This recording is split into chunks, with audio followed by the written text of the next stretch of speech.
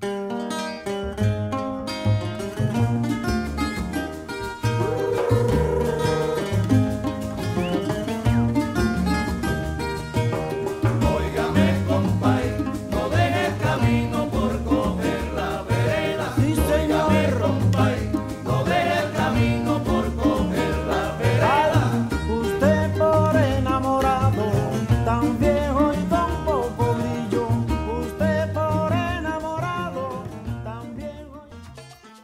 Welcome to the Purveyor Zone. My name is Ron Melendi, and I am the cigar purveyor, celebrating life, culture, camaraderie, and of course, cigars.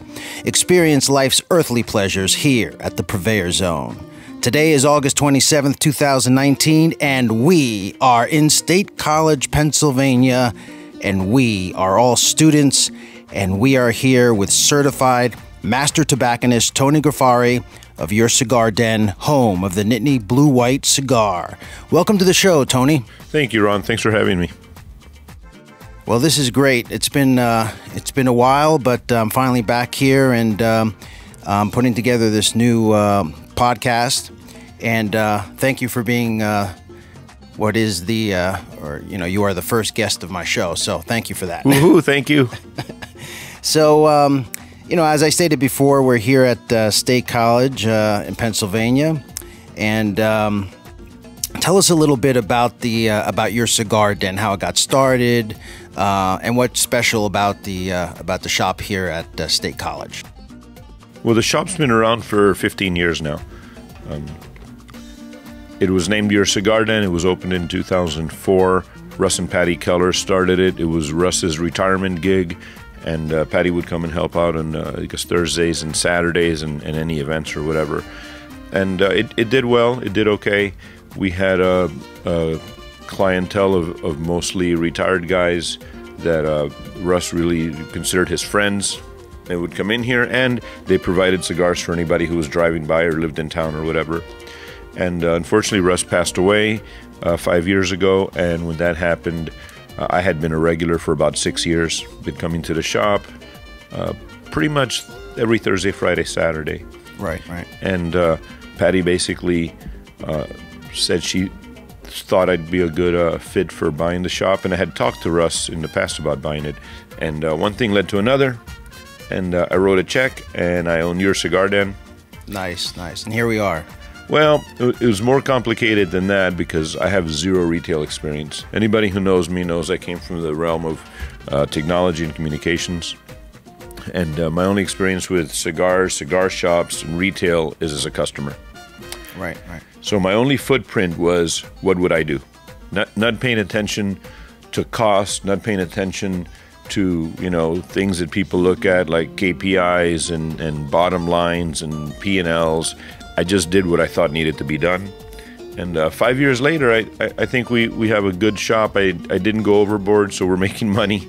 We're selling a lot of cigars, a lot more than I thought we ever would. Well, that's good. It's good to make money, so you're going to be here for uh, for a long while. Yeah, that's up to the FDA. That's another that's another podcast. Yes, that's that is another podcast for sure.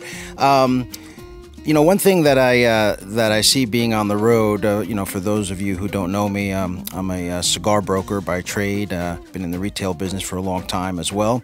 Uh, but I see a lot of people open shops and they run shops a little differently. You know what I like about your cigar den, and what I every time I, I come through town, I see that you guys um, have events. You're very active in promoting the store.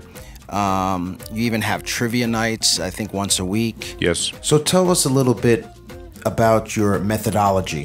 What makes you stand out from from the other shop? Well, we don't try to sell cigars. We're a community center.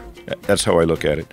We uh, start the year off, and, and we do. You're right. We do trivia every Monday, and there's no cost. You come in, it's free. It's BYOB. You buy a cigar. You don't buy a cigar. We give away a $25 gift card, $15 gift card, and $10 gift card for first, second, and third place. And uh, people get to know each other during trivia, right? That competitiveness of the trivia, whether you're competitive or not, brings conversation in after the fact. The camaraderie. Yes, but right. And as people start talking or whatever, they get to know each other and, and they, they become friends. Uh, at the beginning of the year, we do a chili cook-off contest. Again, the only charge for that is you buy a cigar, and then that cigar gets I match that cigar with another one. So we'll have ten entries. We'll get ten cigars. I'll put another ten. The winner, first, second, third place, gets thirty cigars, and then they get uh, their name on the plaque. And then they get a spoon that says first, second, or third place. And then we do a mac and cheese cook-off. Uh, most of our events are not your traditional selling cigar events. And that's because I hated some of you guys that are a little bit older remember Circuit City. You walked into a Circuit City and you have four salesmen wrapped around you, following you around. Can I help you? Can I help you? And people just don't want that. People. That's the- true. From the moment you walk into a cigar shop, you want to feel relaxed because the reason you come in here, cigar smokers don't have a nicotine habit. Cigar smokers are unlike cigarette smokers that they gotta have that hit. They gotta go outside. It could be five degrees and raining and snowing and sleeting. They're still gonna take that cigarette hit. Cigar smokers do it because cause they want to relax, and you need to set that stage immediately. The moment you walk into the shop, you need to just start, so to speak, letting your hair down, and and that's been my approach. Uh, we do big events. Uh, Havana Fest is going to be one of them. The 12 Days of Christmas is another one. If you come in, you want to introduce a cigar, we'll do a big, big event because we're introducing the cigar. We want to get it in people's hands. We want to discount it. We want to give away swag, give away stuff. Um, a lot of cigar shops think the event is to make the money, and I don't believe in that. I, I believe the event is to get people together, to have a party, to have them try something new, and then hopefully over the lifetime of that customer, you make money. if you do it correctly and you and you create that sense of camaraderie and that uh, and bring you know bringing people together the money in the business will come Absolutely. yeah yeah absolutely um, you had mentioned something uh, uh, just a second ago havana fest uh, which uh, is supposed to be um, something new to this area um, Oh, it definitely is not supposed to be. it sounds it sounds like a, a, a great event. Um, so uh, can you tell us a little bit about uh, Havana Fest, how it got started, and uh, and so on? I can. So about three years ago, I went to one of the other big fests, uh, and and there were so many people there. Like as as a retailer, I know all of you guys pretty much because most of you guys are my reps, and and you're out there handing out cigars. And what I wanted to do is I wanted to sit down and have a little conversation or whatever, but there were so many people and it was so full it you couldn't do that. I, I basically felt like I was cattle. So I said, you know what, State College, small town. It's right in the middle of central Pennsylvania. There's not a whole lot um, around here that that people can do. You know, big event wise. It is not a very diverse community, although they're trying. They're, they're working really hard on, on being as diverse as possible. Um, I- I'd like to do something. I I have a Cuban background like you do. So my mom's Cuban. Grew up in in well, I grew up in a lot of places, but I I, I spent a lot of time in Miami. And uh, one of the things that I did, changing uh, subjects a little bit, is I had a stand at the county fair, and I, ran that for ten years. It was a restaurant, and we did Cuban sandwiches and we did empanadas, and people loved it. And we went from what's that to a to a pretty solid following where we'd sell at least 100 Cuban sandwiches and 200 empanadas a day. Uh, so I felt like I wanted to bring that into into central Pennsylvania. I started, like I said, three years ago. When I first bought the shop for our Christmas party, I would make a very traditional Cuban dinner. It was roasted pork, white rice, black beans, uh, yuca, which is cassava in English, uh, sweet plantains, uh, the magic mojo with the sliced onions, and everybody loved it. And every year I would ask, What do you guys want me to make? And everybody would say, Oh, don't change it, same thing. So I coupled that with cigars, with some Latin music and dancing, and we're just going to throw a big party. Um, it just so happens to be that since I own a cigar shop, there's going to be a lot of cigars. Yeah, speaking about the cigars, that was my next question. Um, who's going to be present in terms of the vendors and and the uh, and any other thing that might be at the event? You know, in terms of what's going to be there. Well, th- there's going to be a lot of vendors, and to be honest, I'm trying to pull up the list here because there are so many that I do not want to forget anybody. But absolutely, we're going to introduce not only to the shop, we will have uh, Fonseca cigars there, and uh, that'll be your people. You- Yes. you- and by your people, I mean you. you. You're the one that's going to be doing that. Yes. Um, and then we're also going to have Lotus, and we're going to have accessories from Lotus. But in addition, as far as individual uh, cigar brands, manufacturers, we're looking at Montecristo, Romeo and Julieta, uh, CAO. Uh, CAO will have the, the new session. A lot of these we haven't decided which cigar we're going to have yet, but they're going to be uh, premium cigars. We're, we're not doing any bundles. We're not doing any unknowns. No, boot, the, the the only boutiques we're doing is like the ones that are not boutiques. Like Casada Cigars is not a boutique. Some people don't know them. They think they might be. Um, McAuliffe, they're the original boutique company out there, right? Right, right, absolutely. Macanudo, Drew Estate, uh, Ashton, which is actually um, La Gloria Cubana, La Aroma de Cuba, I'm sorry. sorry, Mark Goldecker. Alec Bradley. Everybody throws the word Cuba and Havana and all that in there. It gets confusing. I get it. Ventura Cigar Company with Dream Ho- with their uh, Dream State uh, and Archetype series. Uh, that's been a huge seller for us.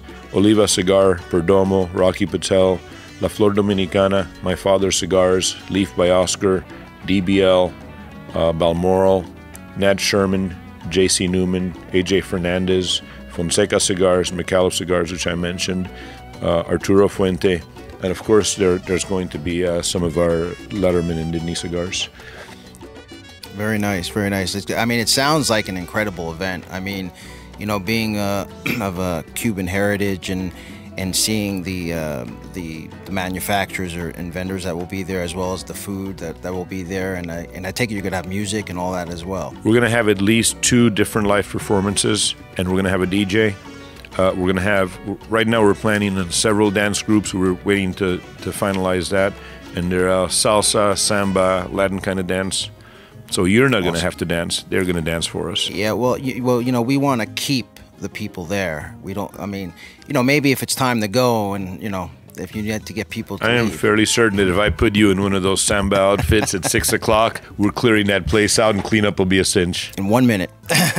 um, so, um, how do people um, find out, or I mean, where do they go to get a ticket, to sign up, and that sort of thing? Well, I feel like if they haven't heard about it yet, they live under a rock and they probably don't smoke Right. cigars. um, pretty much all major uh, cigar shops have a poster up in the Pennsylvania, New Jersey, Maryland, Ohio areas. If they don't have one, I'm sure they've seen it from any one of the 19 manufacturers putting it on their on their uh, social media. If not, Cigar Journal had an article on it. We'll see it on Cigar Snob and Cigar Aficionado here soon.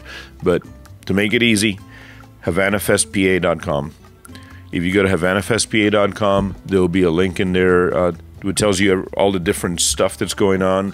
It'll take a link to the buy your ticket on Eventbrite, which has a very detailed list of, of what, what's going on.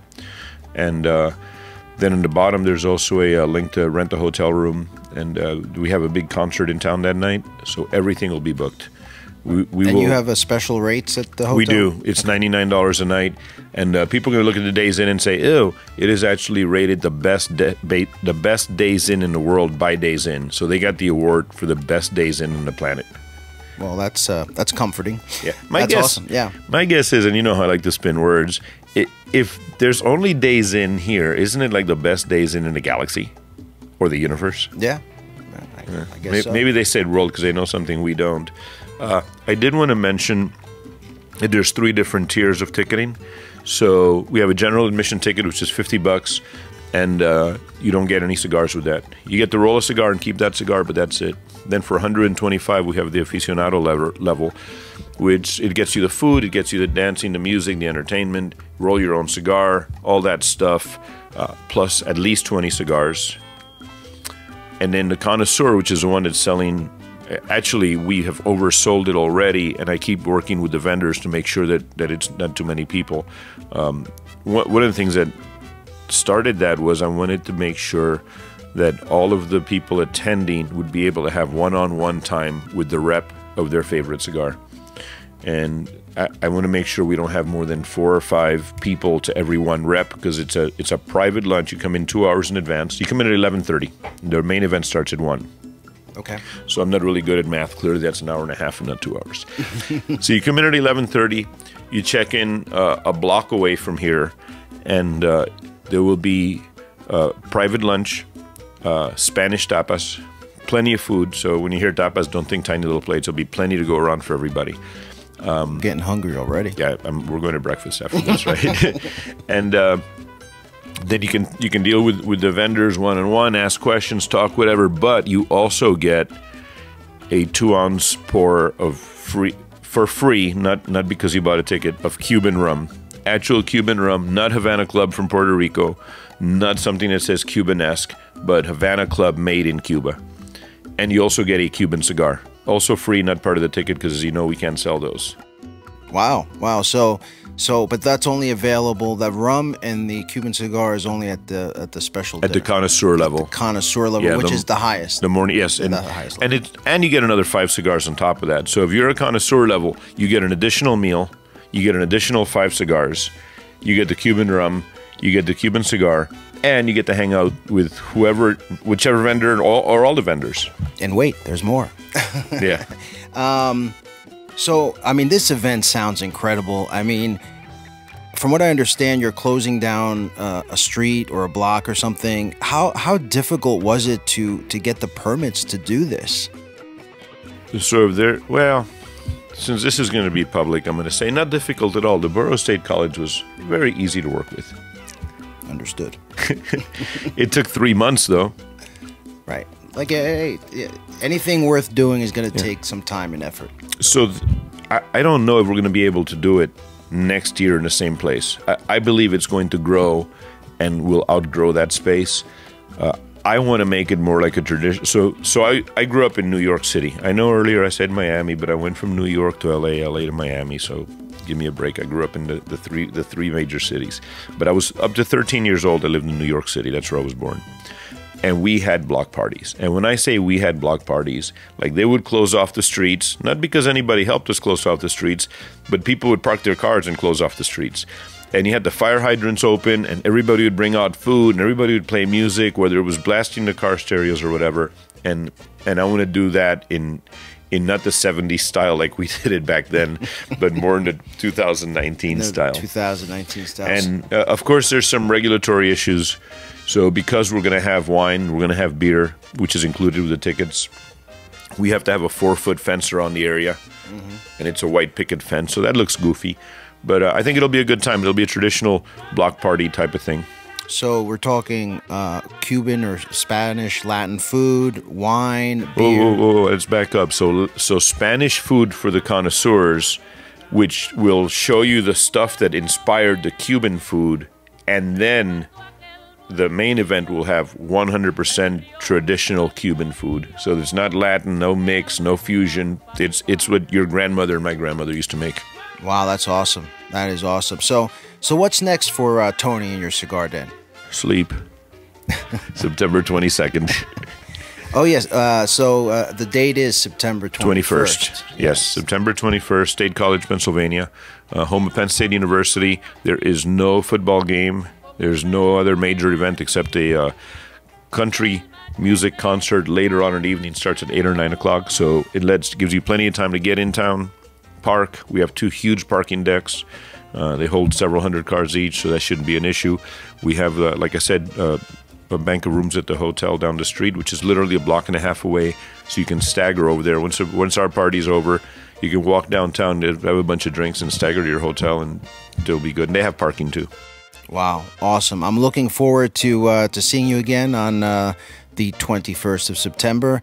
Tony, thank you so much uh, for doing this, uh, for being on the uh, on the Purveyor Zone, and uh, I hope to do more of these with you in the future. Yeah, absolutely. Something I noticed that you uh, strategically failed to mention at the beginning is you are also a certified master tobacconist. Uh, that is true, uh, but uh, this podcast was uh, more about you than me. I, I also just wanted to say that, the, you know we talk about the party or whatever. Th- there will be 200 people there, so it's not a it's not a little cigar shop doing something with 15 people. I mean, we're closed, like you said, we're closing down the street, we're closing down the plaza. It's a huge area, and uh, it's going to be a big deal. It's not not just another cigar shop plugging in just another event. Awesome. Again, thanks a lot, and have a great day. You too, brother. Thanks. All right, thank you.